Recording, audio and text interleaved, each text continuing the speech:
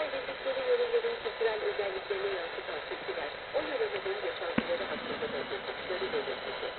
Türk kültürünün önemli bir parçası olan türkülerimiz var.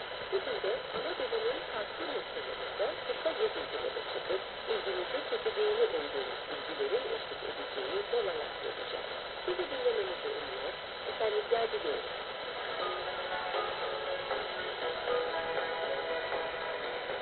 Sözler için Gülistan Trakya Köşesi. Detaylıca Uğur Ekmekçi ve sonunda ben Aslı Hocaoğlu Türkiye yolculuğumuza sizleri de davet ediyor ve bir Türkiye daha yolculuyoruz. Burada görevine gidiyoruz. Sümerisi, Hacı Kiran ve Mehmet Yıldırım'dan alınan Hep de Recep'e ve Recep'e seslendirecek.